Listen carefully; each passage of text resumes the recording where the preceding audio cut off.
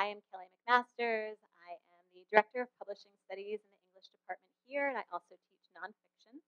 And I also want to um, just thank the um, series coordinator, Martha McPhee. Um, I came bounding into her office one day after um, listening to uh, Pamela Paul and um, at a library and said, "We have to bring her here." And Martha, um, as usual, said, and Martha, as usual, said, okay, let's make it happen. So thank you so much for doing that. Um, and uh, our next Great Writers uh, reading series is November 14th.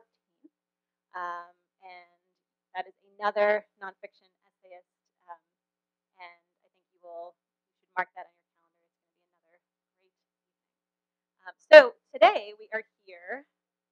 Daniel, Men- oh, sorry, did I not? Daniel Mendelsohn, yes, which I'm sure you, he's kind of a big deal. Um, so that'll be exciting. But our big deal tonight is Pamela Paul. Um, as I said, I first heard Pamela Paul at the Port Washington Public Library, which is my local library. And what I loved most about that night was the way she interacted with the audience. Um, so, speaking of big deals, um, Pamela Paul, most people in the writing world know her as the editor of the New York Times Book Review.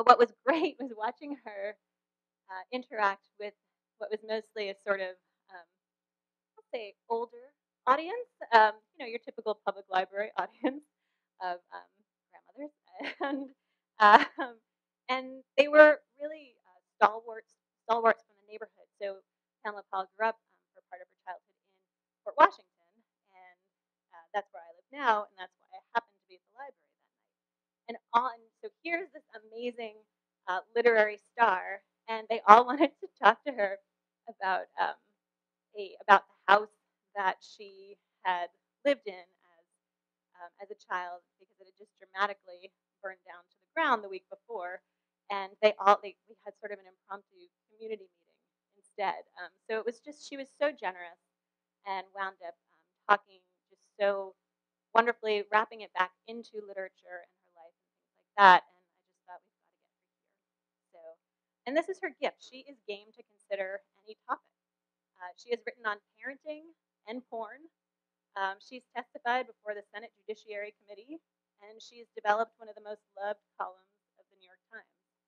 Um, so she's also a book author. She's a journalist, an editor, and also a book author of many books. Uh, one is The Starter Marriage and the Future of Matrimony. Another is Pornified, How Pornography is Transforming Our Lives, Our Relationships, and Our Families.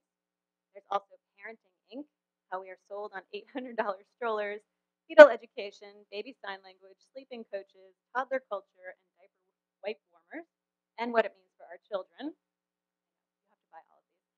Um, and then buy the book, uh, Writers on Literature and the Literary Life from the New York Times Book Review. That's the column. And then the book we're here to celebrate tonight specifically, and they are for sale in the back, uh, My Life with Bob. Flawed Heroine keeps book of books. So let's welcome her to the podium. She's going to talk a little while, then I get to ask her some questions, and you get to ask her some questions. So welcome her up here.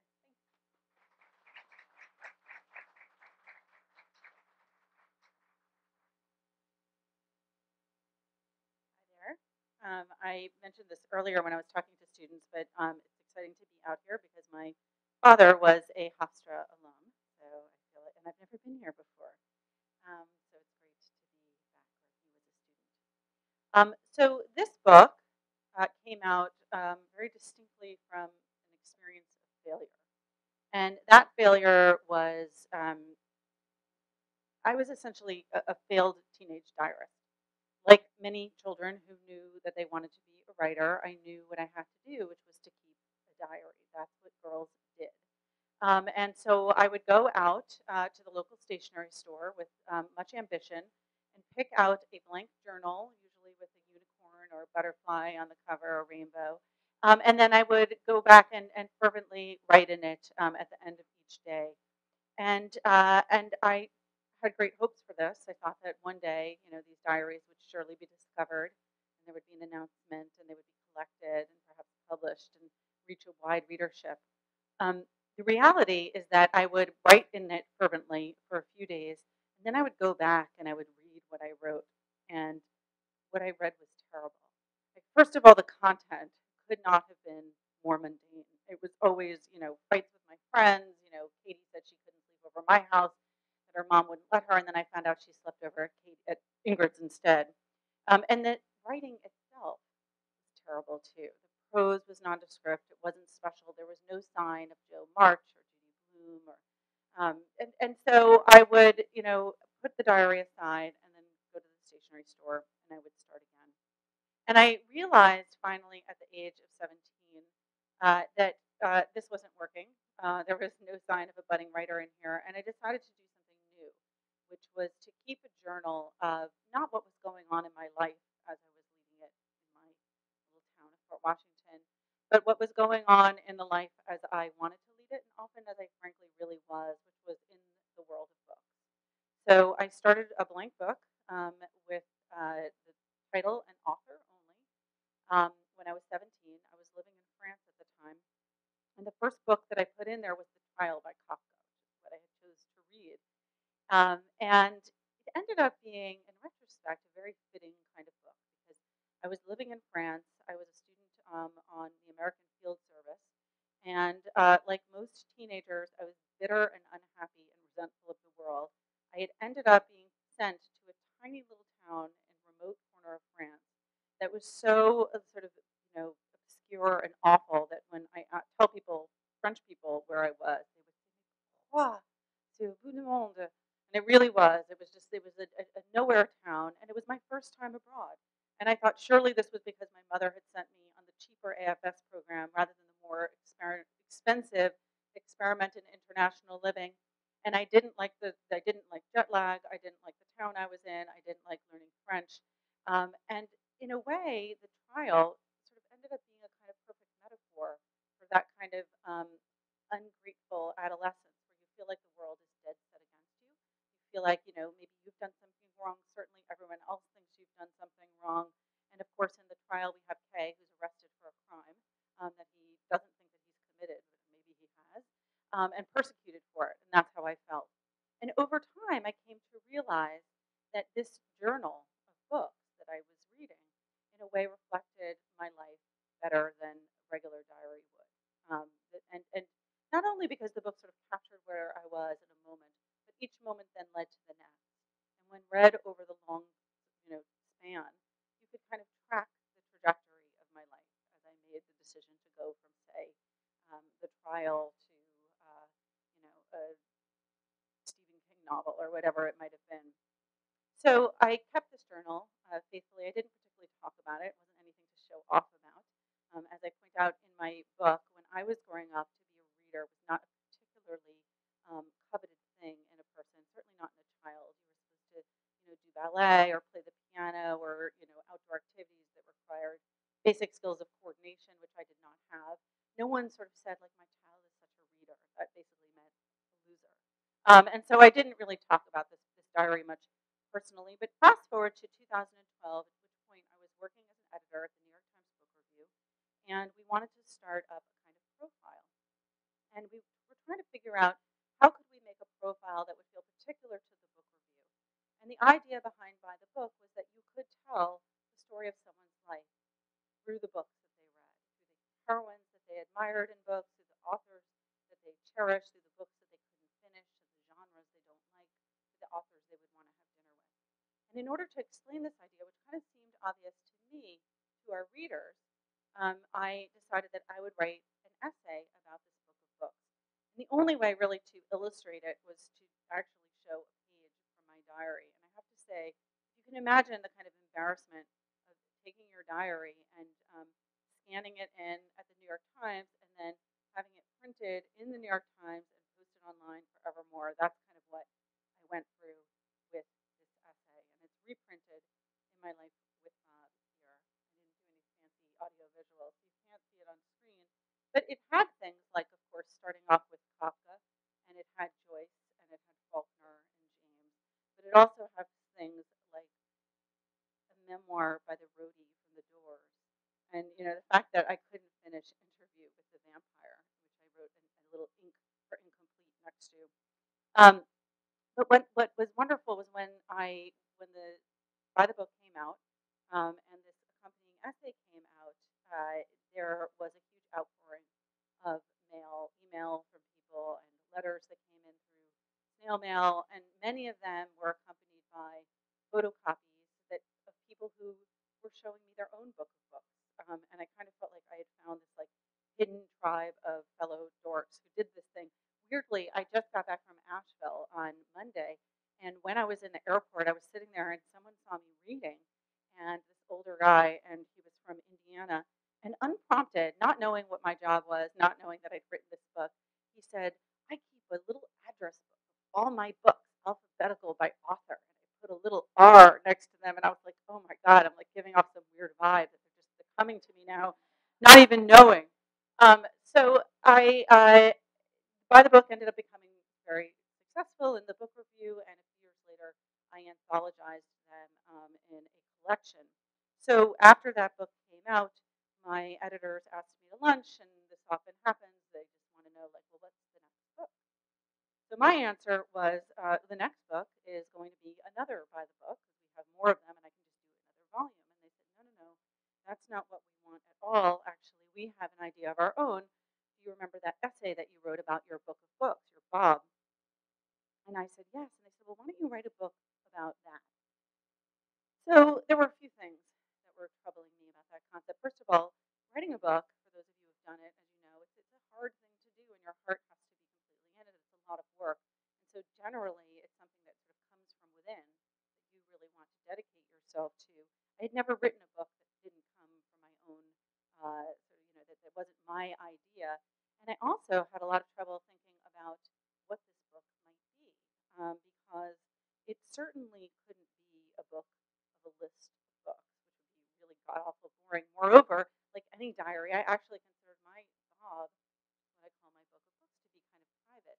So I didn't really want to share it. And I also didn't want to write a book that was about books that other people hadn't read, which I also thought would be kind of boring. And in fact, given that I write about many books during my day job, sort of not much of an interesting stretch for me. So I couldn't figure out what the book would be.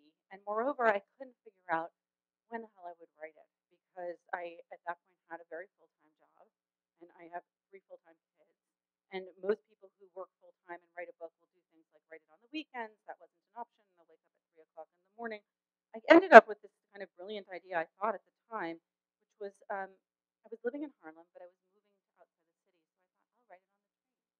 I'd been on trains before. I'd been on the Acela, and if you've been on the Acela, you know it's a great place to work. You have this really nice central table, a place to plug in your laptop. You can spread out your papers. There's a quiet car. So I thought I'll write it on the train, and I told them that, and still not knowing what the book would be, signed the contract. Then I got onto Metro North, which I'd never been on, and it was a little bit of a shock to realize there weren't even tray tables. But it was too late. I signed the contract. I'd taken the money, and now I have to do it. I also had to figure out what the book would be. So I started to contemplate, you know, what would this book be about if it's not about the books themselves, and it's not really about me, and it's not about the list of books.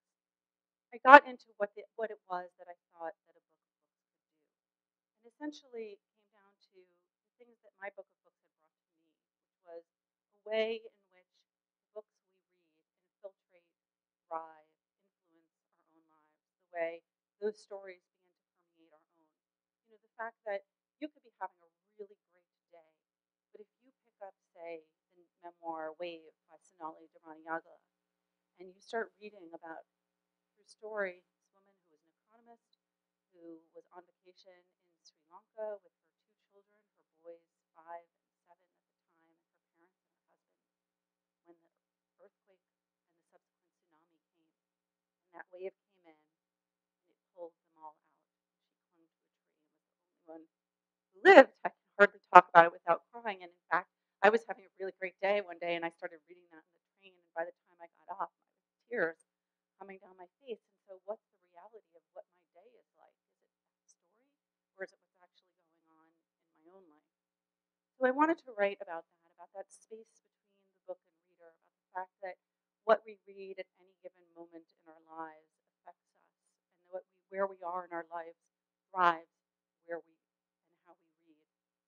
I wanted to write about the fact, you know, for example, you could take the book Anna Karenina and you can read that book when you're young romantic and you like maybe had one boyfriend and you think to yourself, this is so romantic. She's meant to be with Vronsky.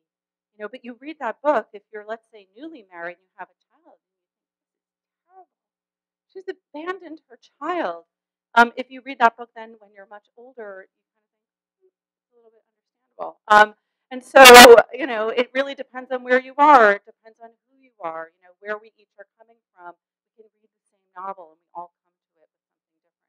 And I have this every day at work where we're all of us reading books constantly at the book review and we have very different opinions. I mean, there, there, there are books that my colleagues will enthuse about wildly that I think are just despicable, um, and, you know, vice versa. So I wanted to write about why that is and about all the questions that readers, real readers, ask themselves. What should I be reading? Why do we think that way? Why is it should I be reading? And are there books that one should read? Or is that question itself sort of at fault? Is it okay to read for comfort? Or should books make you in some way uncomfortable? What does it mean to be well read? You know, I, I'm one of those people that's always been kind of hounded by that notion of like things that I really feel like one should read before one dies. But why? Is there a right way to read a book? Can a book improve you? What do we want to get out of a book? Is that the way we should be thinking about it? Why does one join book clubs? And that is just a really interesting thing. People join book clubs. Books, reading a book is such a private, personal activity, and yet we seek out others to talk about books together. And one of the things that drove this book came out of my own book club. Um, I had actually always not wanted to join a book club because I don't want to read what I don't want to read. And if someone in the book club picks out some book that month I don't want to read, I don't want to be in that club. But this was a book club I joined for a very particular reason, and it's because though the group is entirely grown up, many of us don't even have kids in the group. Um, uh, it was a group of very literary readers, and we only read children's books. And the nice thing about that is that kids are short, they're easy, and so I could still read those books and then also read what I wanted to read. So I was in my book club one night, and we were having um, or uh, volatile argument over a book. Some people hated it, and other people liked it. It's like a YA thriller or something. And uh, and and in the middle of this argument, one woman stopped, and she's actually one of the few people in this book club who doesn't work in publishing. The members of the book club are there's a few best-selling authors in the club. There's some agents. There's a head of one of the big five publishing houses. Um, but she was a child psychologist, and she said, "I think that the reason we're fighting about this book so much reading it for different reasons. So why do you read?" And it was a question that you would think that a bunch of people who worked in the world of books would have thought about already, and yet we were kind of sort of stumped by such a simple, basic question. So we all thought about it, and we went around the table, and everyone had different answers.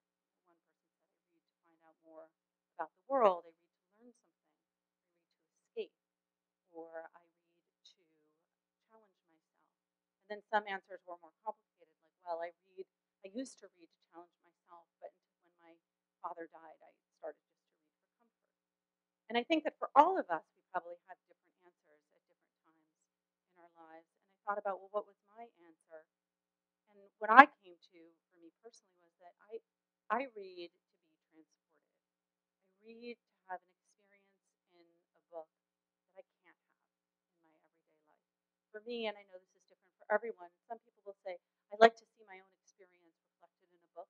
That's the last thing I want to see. I don't want to read about a mother of three commuting every day to an office, you know, hounded by a 24 7 news cycle. That's boring. I know that story very well, but I do want to read about Sonali Deraniyagala's experience.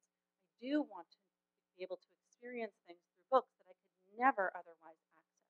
I could never be coal miner in 19th century France, but I can read Germinal and understand what that might be like. I will never live on Mars, but I can read The Martian, I. But in any case, I like the movie. Um, I, I, but I want to be able to enter into other worlds, to enter into other perspectives, to be able to access something that I could never access in any other way. And I know some of you are thinking, you could get that on the internet or on the movie or in a TV. But I think that one of the reasons those media, you are having so much of it created for you. If you read Harry Potter for the first time, for example, and you've never seen the movie, you are imagining what Hermione sounds like. You are thinking about what Hogwarts looks like, and you're trying to imagine, you know, what what it was like when Snape.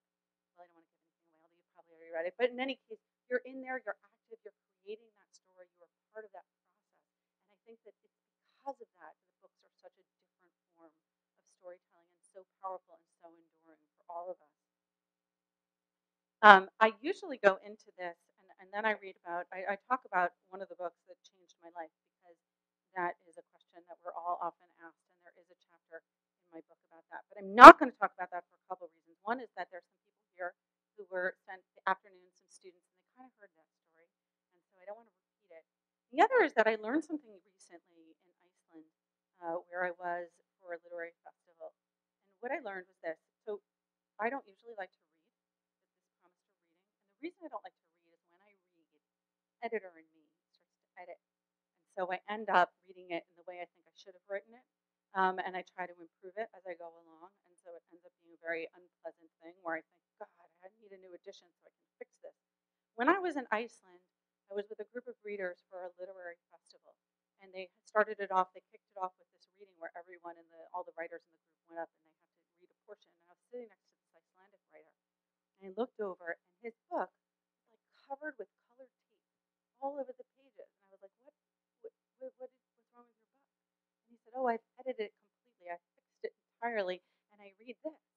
And I thought, "Oh, wow! Like I you, now I I'm going to do that." And so you can see, I have crossed out entire sections of this thing that I'm going to read to you. You're going to get the new and improved edited version of one of the stories in my book. So I'm going to tell you sort of how I ended up a little bit in terms of the process, fixing that problem of like, well, how can this actually be a book? It's not only about me and it's not about the books, but it's about that space in between. So every chapter in this book is named after a book that's actually in my book of books. It's one of those laws that I set out for myself that no one else will pay attention to, but was important to me. And that each chapter would it somehow capture what that book did for me in my life, but also something about the reading experience for all of us. Because I think that that a memoir shouldn't just be about the person in the book. It really should be something that we can all relate to in some way. So this is a chapter called Swimming to Cambodia. Named after a book by Spalding Gray, um, a former, uh, sadly, late Long Islander. Um, and the theme of the chapter, the subtitle is The Company Narrators. Specifically, in this case, or very frequently, narrators in a travel book. Um, because when you're traveling, if you read a travel book, it's like going on a trip with someone. If you're with, like the narrator or the person that you're with, it affects your trip. If you don't like that person, not as good. So I'm going to read you this, this highly edited um, excerpt from the chapter Swimming to Cambodia. Um, just to set the scene here, I was living in Thailand at the time. This was right after college. I was in my early 20s. The friends I made living in Thailand were friends of circumstance. Angela, a yellow haired English minister's daughter who wore brightly colored jewelry and said things like Fafi and Grotty. Brad, a 50 something history teacher from Hawaii who lived with a Thai teenager. Alma, a Swedish backpacker I hung out with on the beach, seemingly the only other soul girl on Phi Phi for the holidays. Each provided a companionship of convenience. We probably never would have crossed home, and if we had, we'd have each swiftly moved on. Here, I clung to them. Let me say another thing. This is before the internet. This is before cell phones. So when I was in Thailand, I was truly alone. I didn't have a phone. I didn't even have a landline, and I didn't have a mailbox. It would have been great to have had a real friend to travel with. It would have been even better to have had a real boyfriend to travel with. Instead, when I decided to go to Cambodia in the spring of 1994 for the Cambodian New Year celebration, I had Tyler. A former Navy sailor, Tyler was the smartest and worldly American I'd met in Chiang Mai and my most recent companion of last resort. I go into a long thing about why I didn't like Tyler. Now, here's another point about editing. The next part my editor really wanted me to take out. He was adamant about it, and I was equally adamant about putting it in because even though it's disgusting, I couldn't help it. I had to include it. You can tell me if you think who, was- you know, who was right after. The most noteworthy thing about Tyler was the way he peed at night. His toilet was located on the first floor of the house, a steep and narrow staircase away from his upstairs To avoid a precarious descent in the dark of night down what was more a ladder than a flight of stairs, he'd rigged a long plastic tube from the first floor toilet up the side of the house to the window of his second floor bedroom. At night, he'd simply release into the plastic tube, and the runoff would make its way down to the bowl. Tyler's system, alas, did not accommodate women. He was kind of a solo operator generally. Maybe like it a little bit. Um, some of you. He was kind of a solo operator generally. Though he and I didn't know each other well, we managed to find something to fight about while waiting for our flight to Phnom Penh. Before boarding, we mutually decided to go our separate ways. My travels in Asia were too precious to be compromised by bad company. By sheer luck, I wound up at the Renakse, an elegantly dilapidated French colonial hotel directly across from the royal palace. It was a step up from my usual grubby guest house, but I wanted to avoid bumping into Tyler within the cluster of budget accommodations. The Renakse, as it happened, was prime hangout for a kind of expat very different from those populating Chiang Mai, where I lived. Instead of missionaries and sex tourists, there were academics, artists, and nonprofit workers from Europe and the United States. So here were the people I'd been fruitlessly searching for abroad. Just a little bit of background Cambodia at that time, it's 1994. Khmer Rouge was still active in the north of the country. Um, they had just kidnapped an academic from Lehigh University and killed her in, um, at Angkor Wat. And so there weren't a lot of uh, tourists there um, at all, but the UN, the UN, what was called UNTAC, was there trying to put a new government in place. So uh, it was an interesting time to be there. Despite parting ways with my ostensible traveling companion and making that departure much easier, I soon found good company. Based on title alone, I picked up a copy of Swimming to Cambodia by Spalding Gray, the theater director, monologuist, and author, and began reading it on the plane. It's hard to describe the intensity of emotion reading to Cambodia, Swimming to Cambodia, Gray's monologue about his playing a small role in the movie The Killing Fields, but it was immediate and all-consuming. Spalding Gray was my first literary crush. There was no romance in this fervor, but rather a sense of total and complete identification. True, Spalding Gray was a New England Protestant who'd spent years working in avant-garde theater in Soho, and I was a near unemployed college grad from Long Island. I didn't share Gray's struggles with drinking or his depression or the legacy of a suicidal mother. But I'd never, in reading a personal narrative, felt such a close affinity with a writer. It was as if we viewed the world through a shared lens. I found funny what he found funny and sad what he found sad. When I read him, I felt like I appreciated what he wrote and the way he wanted to be appreciated, and that he would have appreciated that. Just reading Spalding seemed to magically forge connections to like minded people. After noticing me reading Swimming to Cambodia over breakfast at the Renakse one morning, a documentary filmmaker staying down the hall asked me to join him for coffee. Previous projects had included work with the makers of the Killing Fields, and now he was making a film about landmines for the PBS series Nova. At the time, Cambodia had one landmine for every seven inhabitants. We talked about Swimming to Cambodia and William Shawcross's sideshow, which I'd also recently read, and then, as if these books gained me passage, he invited me to join him and his friends on a boat they chartered on the Mekong River every Friday afternoon. Also on board was Connie, a scholar of ancient Chinese poetry at Lehigh, stunning American businesswoman named Heather who'd made a fortune in China while simultaneously getting a PhD from MIT, an anthropologist also named Heather who'd been working at the Sackler Museum in Beijing, Lindsay, a corporate lawyer from San Francisco who was assisting the Cambodian government to create laws related to women's issue, and an unidentified gray-haired man who spoke with authority about everything from the kooky Vietnamese cult religion Cao Daism to the origins of the Vietnam War. And there was first few minutes were awkward as my fellow passengers introduced themselves in terms of their respective achievements. Then they asked what I did, and I said something nebulous about working in Thailand. I. Um, I tried hard to act like a legitimate participant in the conversation until Lindsay, the lawyer, challenged me on my first attempt to seem like a grown-up. What do you mean exactly by matriarchal? How is Cambodian society matriarchal? Um, I overheard a tour guide say so. I quickly downshifted to thoughtful nods. I tagged along for drinks afterward at the Foreign Correspondents Club, where we were met with a scene straight out of Somerset Maugham, complete with spinning giant, sorry, enormous spinning fans on the ceiling and a long wooden bar. Everyone knew everyone else from earlier newspaper stints in Hong Kong or Singapore. Reporters and published academics swarmed the place. By comparison, I had written a few pamograms and some well-received college papers.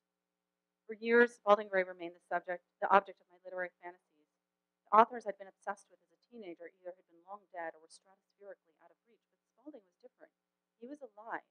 And while he was famous in his way, meeting him didn't feel entirely outside the realm of possibility.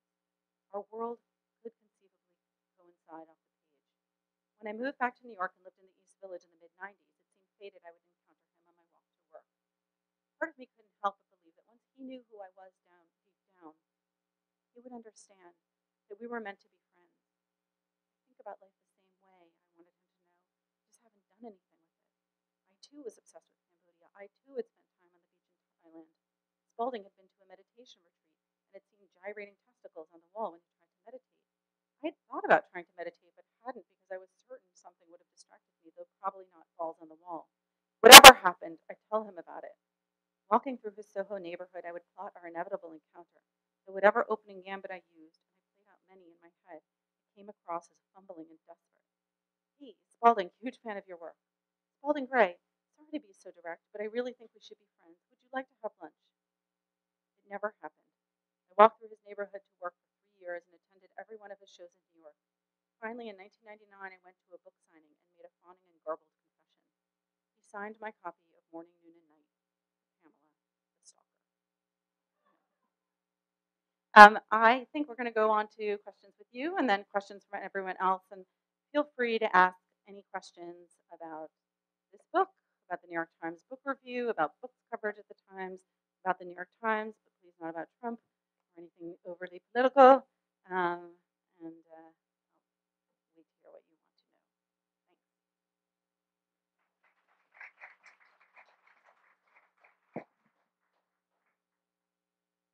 All right, we're in our assigned seats. Um, thank you so much. So, um, folks, what do you think? Tyler and the urine tube, should that have stayed? Yes, yes, yes. Right. I think we agree with you. Live stream, my editor will watch. Oh, yeah. Yeah, so don't edit that in the next edition. Um, so I'm wondering when you said that you were you usually talk about a particular story, was that the Wild Swans by any chance?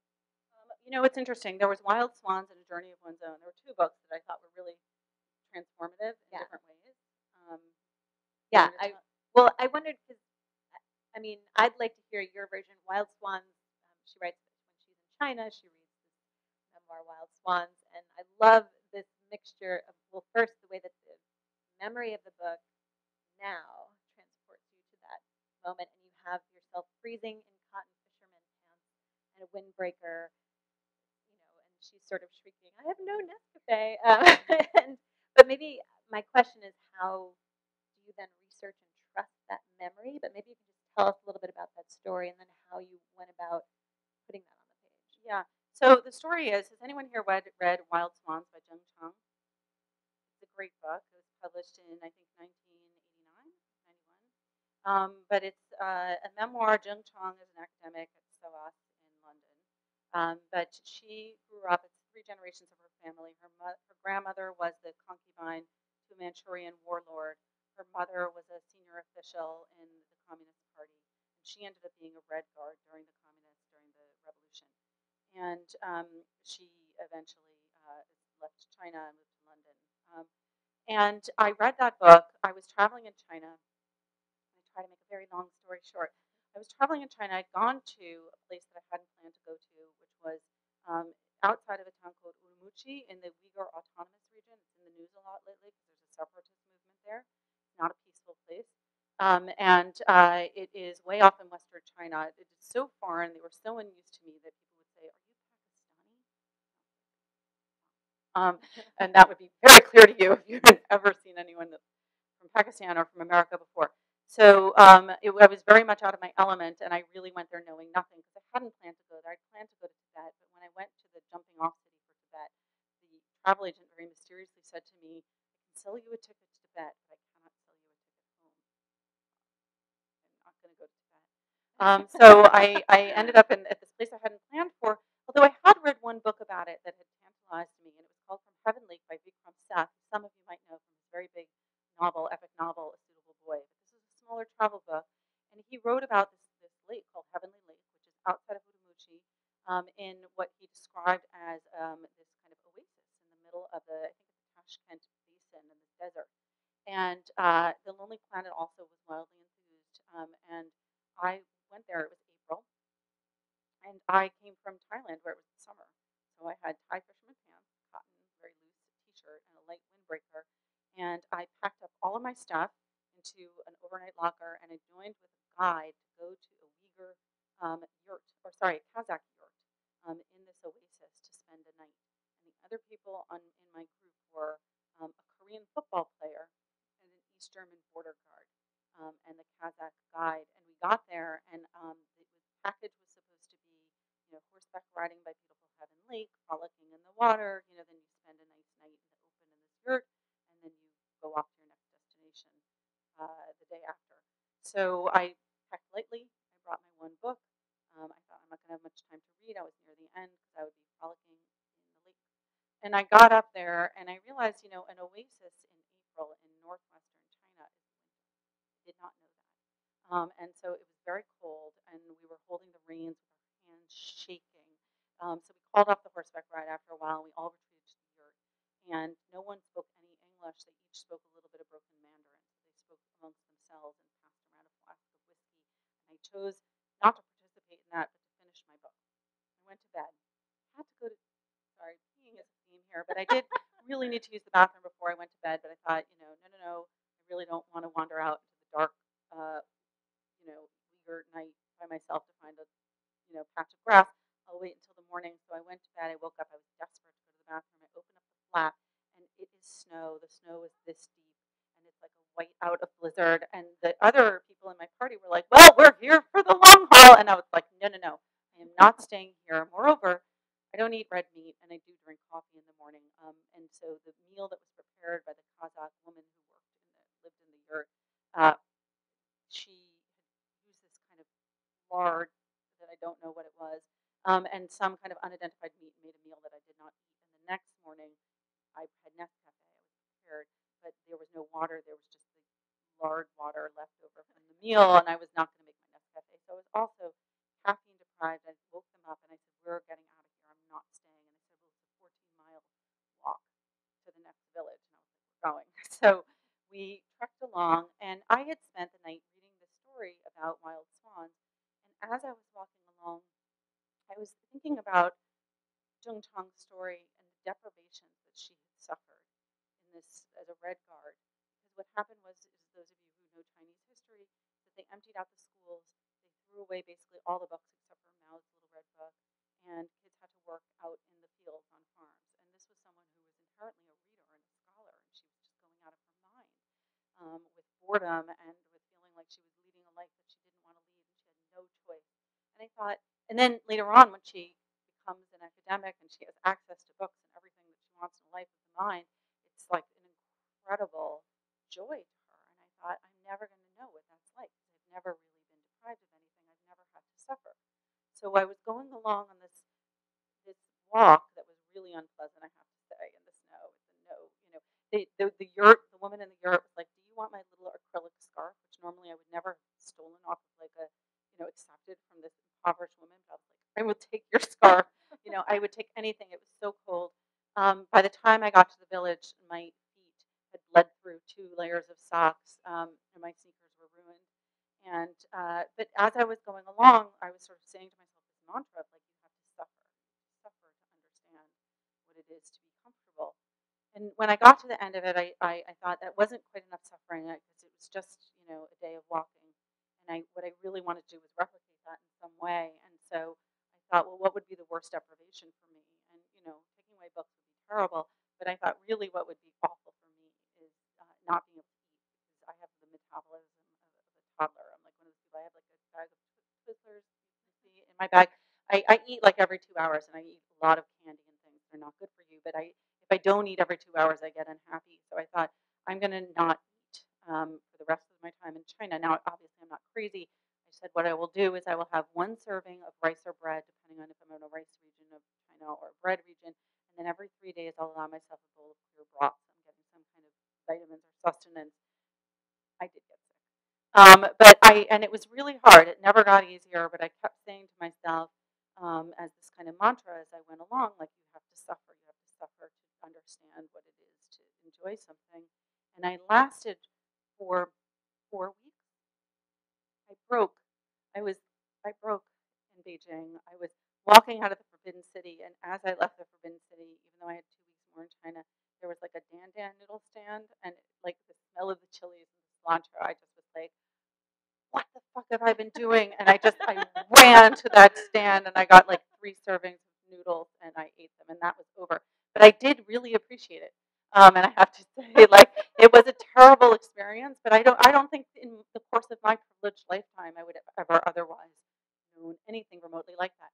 So it's interesting that you say, you know, what did you do to, to kind of rehearse, like revive those memories? Because I I didn't want to go back into the books and like find relevant passages and all of that. And I also have a thing where in writing about these earlier periods in my life, I wanted to rely on my memory of them. I didn't want to try to reconstruct them through a new layer. So interestingly, I have never Googled Thailand where I lived, and I have never Googled, you know, Urumqi or Heaven Lake.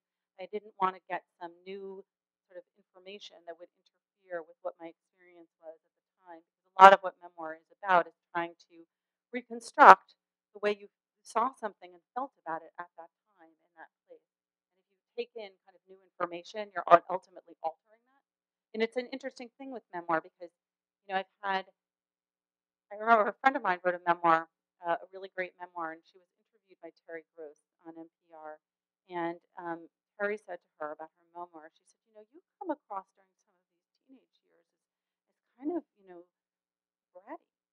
And my friend said, well, you know, Terry, um, I was trying to get into the mind of an adolescent as I was at the time. So, you know, wasn't going to pretty it up, but that's kind of what it, I think is part of, of, of writing a memoir is you have to kind of recreate how you saw something at that time in order for it to be authentic and to kind of stay in that moment. And so, did you? Because I'm thinking also about your most of your other books, which Mhm. are much more research oriented. I was at a um, at a at the Rona Jaffe Awards recently, and I was standing next to a friend, and the friend between us um, is going through a divorce, and she's very young; she's in her early twenties. And my friend said, "Oh, I have a book for you. It's called Starter Marriage," and, and I was like, "Oh, Pamela Paul." Um, but you, even though some of your books have come out of personal experiences, they're very researched and Yeah. journalistic, and your background is journalism. So, was there? Did you have to fight that impulse to not Google? No, it was. I mean, it was a very different process because the starter marriage was not about me. I think I used the first person in the first two paragraphs, and then I left it behind. And I mostly, um, I did a lot of research. I interviewed academics, but most of the research was interviewing 50 people who'd been married and divorced at a young age to kind of find out what their experiences were like. Because I didn't want it to be just about me, and also I had no perspective on it at that time. I had just split up with my husband three months before I signed the book deal, so it, it- for me, it was like it was a it was a almost personal personal journalistic experience to kind of try to understand that. Um, and with the other books, I mean, they really didn't come out of it. Pornified came out of no personal experience, and you know, people. It, it's very disappointing when you go on a media tour because they're like, "What happened?" And I'm like, "Nothing. I wrote a story for Time, and I thought it should be a book." Um, but uh, what was harder about this, easier and harder, is that there was no research. There's no reporting to do. I didn't need to consult with anyone. It was all internal. The harder thing is, is that I wasn't trying to prove a point. I wasn't trying to build an argument. I wasn't trying to marshal evidence. There was nothing. There was no drive to it other than whatever I could create through the narrative, and so that made the writing of it much harder um, in its way. It was much more about the the crafting of the story as opposed to you know anything journalistic where you're just kind of trying to get from paragraph A to B to C so that you can you know bring it home.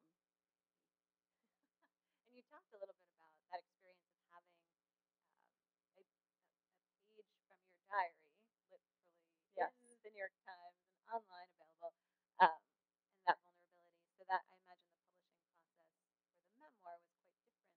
Uh, It sounds like the, the writing process was different, but how else was the publishing process different than uh, your past books? Well, you know, one thing was is that first of all, I didn't think this was a memoir. When I signed it up, I was like, this is a book about reading.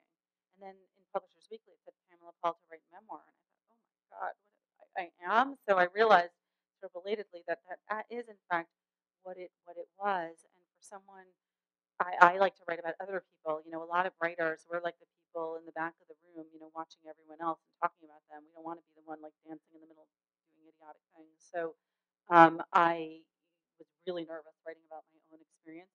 And I thought, well, what I'll do is like the writing of it has to be true, it has to be 100% true in the way that I have to tell it. So I'll write it all out like that. And then, just a little safety measure, at the end, I'll reread it and I'll reread it sort of pretending like, okay, I'm going to reread this as my boss. not going to reread it as like an employee. I'll reread it as my mom, as my ex-husband, as my child 20 years from now. And, and I'll take out everything that like I think could upset anyone. And then I, I didn't do that. Uh, and then, then it was too late because the book came out. But, you know, I think it's probably a better book for that. Um, you know, you, you just, you can't be that cautious. Um, and, and, uh, and, uh, Um, I wanted to ask about book criticism. You talked about how I taught in book criticism the other day, and actually we I took my students to the National Critical Circle Award, and it was this wonderful experience. I think criticism gets a kind of fuddy-duddy um, rap, and suddenly we realized Margaret Atwood is the keynote speaker, and there's a whole group of fancy people um, at the New School celebrating book criticism, and it was wonderful. It was a wonderful experience for me to see how alive, to see the students see how alive that is today and could be. Um, and you are in, in charge of the most important book criticism pages published today. Um, and I'm wondering when you write or read um, or decide, yes, that is good enough to publish, what do you look for in a book review in terms of um, why you would ask somebody, maybe pairing read, uh, readers and, uh, and the books, and also just the actual sentence to sentence? Oh, well, I could talk about that for, you know, 15 hours, but I'll, I'll try to just make a few important points. First of all, I think book criticism is vital. Book reviews are really important. This is a, a service for readers. It helps authors and publishers. You need to, like, criticism is essential for us to understand what's worthwhile, what works, and what doesn't. On the internet, you know, there's a lot of, of, of talk around books and enthusiasm, and I think that's all fantastic. Um, but there's also a lot of promoting and a lot of blog rolling and a lot of oh my god i love that book and you don't know that that's my sister who wrote it and like a negative review on amazon written by you know someone's ex-wife so you you what you need is i think frankly um, now more than ever with all of that cacophony is serious book criticism reviews where you have you know critics who've been vetted against conflict of interest to make sure that there isn't some kind of established friendship or enemy uh, relationship between the two of them um, where it's fact checked, fact checked, um, and edited and copy edited. Where when you read a review, you can disagree with it, but you shouldn't distrust it. You should know that it is coming that that that the person took the book on its merits. And I also think that book reviews in and of themselves can be a lively reading experience. It's its own art form. I mean, I read I read many, many, many more book reviews and movie reviews than I see books, uh, see movies or read books because I like reading them. It's a great piece of writing. You pick up Anthony Lane in the New Yorker, and no matter what he's reviewing, even movie you would never in a million years want to read, you're generally going to, you know, be engaged, entertained, and informed by what he's writing in some way. And the same, I think, holds true for a number of book critics, including um, our own at the New York Times. So, ideally, what a book review should be is, first of all, an engaging, entertaining, and informative, enlightening piece of writing. It should be something to be read in and of itself, whether you want to read the book or not. Um, in many cases, we know that people don't go through the book review and sort of read it cover to cover, thinking, which book should I read? They're reading them also so that they don't have to read the book. Um, you can learn a lot about a book just from a book review or about a subject. And there are many different kinds of forms of book reviews. You can have multiple books on a certain topic reviewed in a kind of multi-book review slash essay. Um, so it, it, again, it's a huge topic. It's very easy to talk about too what a bad book review is and what you don't do in a book review. Um, it's not an opinion piece. It's not an op-ed. You're not using the book as an excuse to talk about some issue and your opinion on it, your take on it. It's not a hot take. It's not a thumbs up or thumbs down. It's not a book report. Um, you need to have a reviewer actively engaged with the material. Um, and again, review the book at hand, not the book that they wish they had reviewed. Um, and to, you know, in a really good book, review, you can go broader and deeper than the book itself in a way that reflects well on the book, that reflects on the author, on the subject, on the topic at hand, so that you can, let's say you're reviewing a history of Poland, you can contextualize it in terms of what else has been written about Poland, what other histories there are, sort of what the historiographical issues are, you know, with Poland. What does this mean for what we're seeing in Poland or Eastern Europe today? Is there any lesson that you could glean from this book about the you know the the contemporary America, and then you know you can get into the writing itself and how does the person what kind of research did the person do? What's the background of the author? What perspective are they coming from? What's the argument here?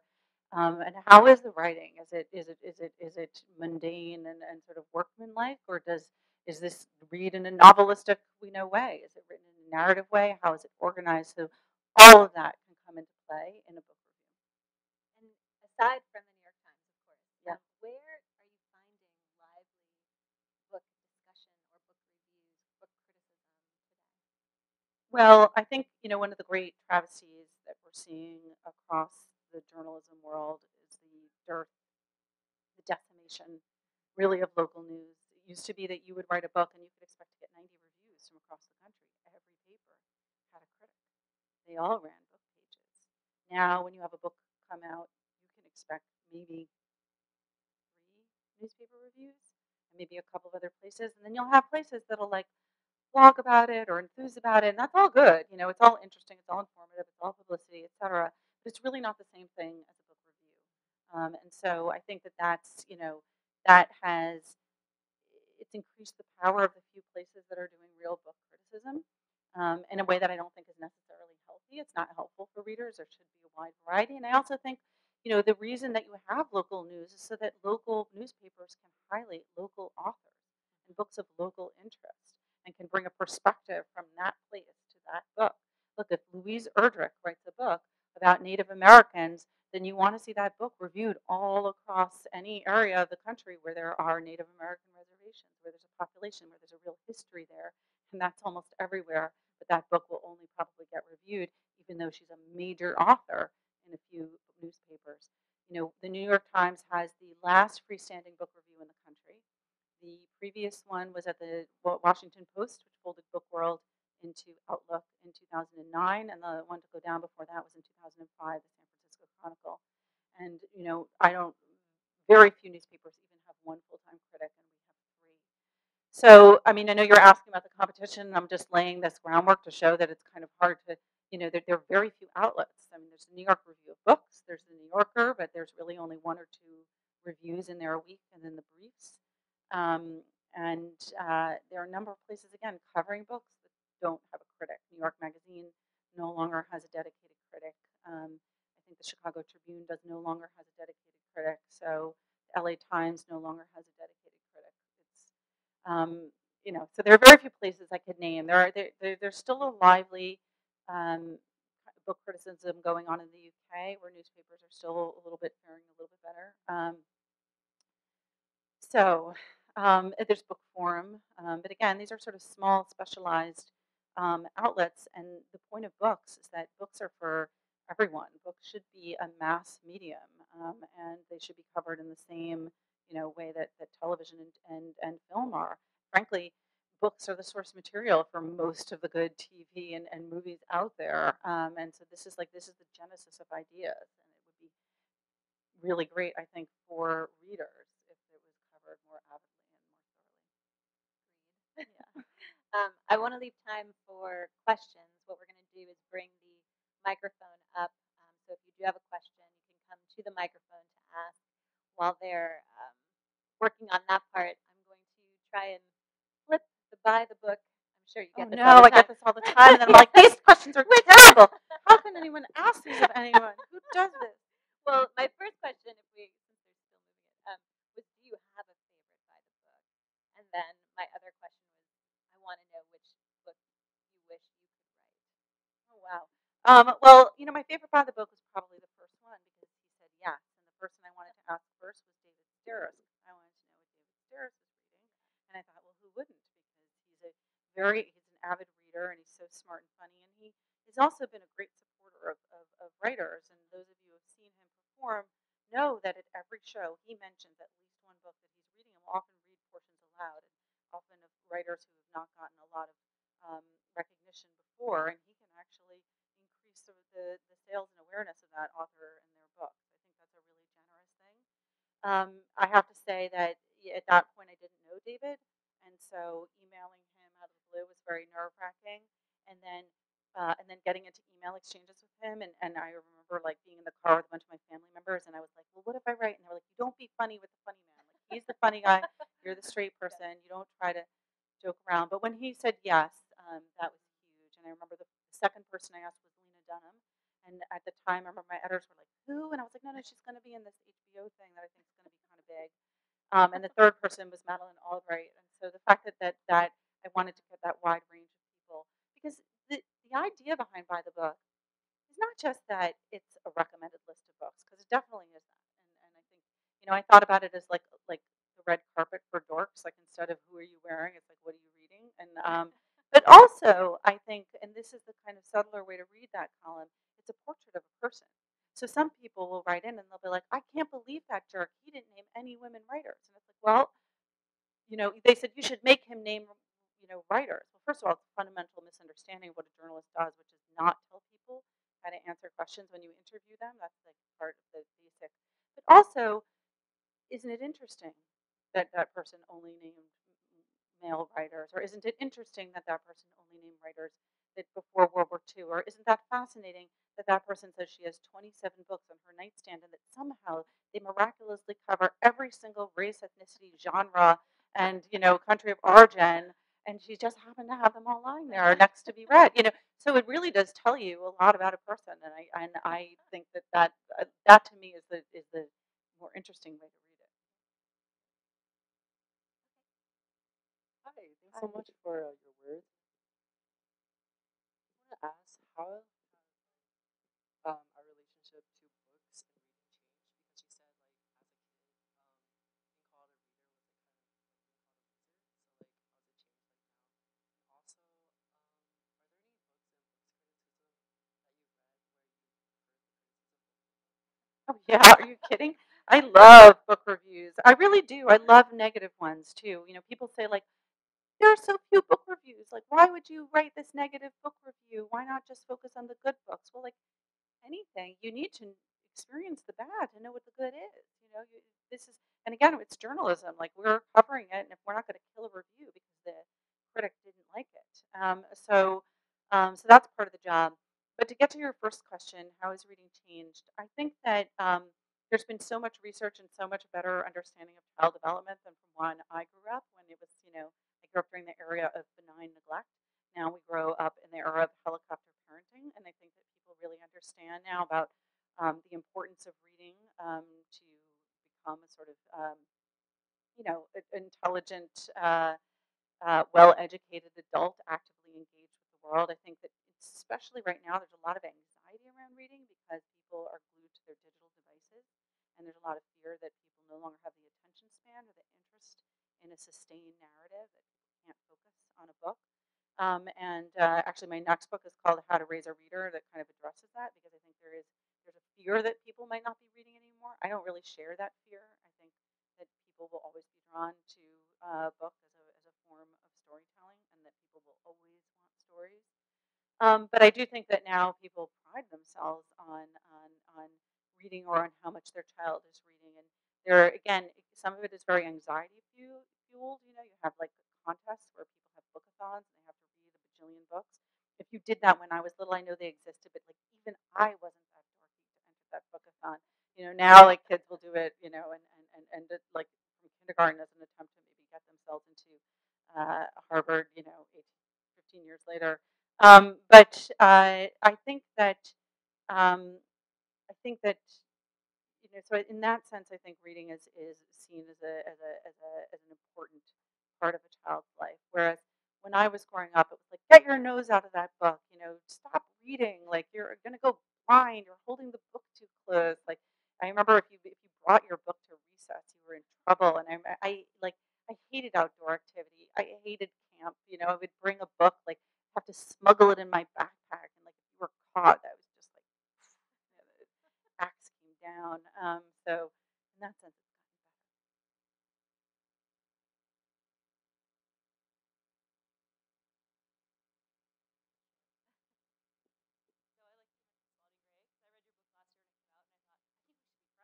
it's gotten better. I think we met each other. We really like each other. So I wanted to ask you, what are you reading right now? Oh, I'm reading. Um, so I was supposed to read for my children's book club, um, Kim by Rudyard Kipling.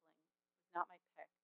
And uh, and I did a very rare thing, which I, I abandoned it halfway. I kind of came to this realization that it, there's something about that book that I don't like in a book, which is like I don't like that like um, that sort of you know jolly like you know sort of uh, British like look at that there you know that funny character there that strange fellow like I just it's like the Pickwick Papers I don't like that. So I uh, the book I picked up um, that I'm reading now, which I actually love, is called um, Rage to Fame, and um, it has a second volume called Price of Fame. It's a two-volume biography of Clare Boothe Luce. Here's a little generational test. Who here has heard of Clare Boothe Luce? There we go. Yeah. Okay. So Clara Boothe Luce was one of the great women figures of the 20th century. Um, she was everywhere that like anyone ever was. Uh, she did so many groundbreaking things, and even things that those of us who kind of know the sketches, the outlines of her lifetime, like would be surprised by unless you'd read this. Have you read the biography? You've read the biography? You're about ahead me because I'm only halfway through. But she was married to Henry Luce, who was the publisher of Time Inc., of uh, Time Magazine and Fortune Magazine, and then the whole empire of, of, of Time Life. Um, and she was an ambassador. She was a senator. She she did. A, she was an understudy when she was like five years old for Mary Pickford, as you know, but even you might not know because you hadn't read it. She just she was the managing editor of Vanity Fair magazine. Um, she she she was just everywhere that anything was happening in the 20th century. It was this incredibly full life, and I started reading it because um, I was reading earlier this year another great book um, by Michael Pollan, and this is why I love the Book of Books because you can then kind of follow that trajectory. So Michael Pollan's most recent book is called How to Change Your Mind, and it is about LSD and psychedelics and hallucinogens. And in it, in an offhand way, there's some great anecdotes in there um, of like figures now that you wouldn't expect had somehow had a had a place in the, the world of LSD. And one of them was Clare Boothe Luce because she and Henry Luce used to take acid, and I thought, wait, wait what? She was like the Republican senator and the ambassador, and they're like, how did that happen? So I don't know. That's probably in volume two, uh, but that's why I started reading it. I also only read half. Okay. we do know each other. Um, I think we're actually over time. Um, But uh, but I I don't think you answered that last one about what book. So I now we know what now book you're working tricky. on now. But what book you wish you Um, kind of books I would there there there are articles that I want to write often before I want to write a book, um, and then to, you, don't necessarily know if it's going to grow into a sustained narrative, and a lot of those are reported. I, I'm very interested in um, a few issues. A lot of the when I was writing um, narrative nonfiction or reported non sorry reported journalism for features for the Times and elsewhere, the things that interested me were often um, around health and science um, and interested in right now, especially um, the influx of technology in education and the impact that that's having. Um, so I would I would love to do that, but that's the kind of heavily reported book that I don't have time to do. And I'm also very interested in the long term impact of um, illness in a variety of different ways. And but again, like it's all heavily reported. Um, not another memoir in me right now. I've had I've had my say about me. Great. Well, we're so glad that you did, and I hope that you will all go to the back table and buy the book um, and have Pamela sign it for you. And I wanted to thank the Cultural Center, as always, and also Martha and the English department and everybody who works to put this amazing series together that we're so lucky to have here at Hofstra. And thank you, Pamela Paul, for coming to for your first time. thank Hopefully you. Not your last.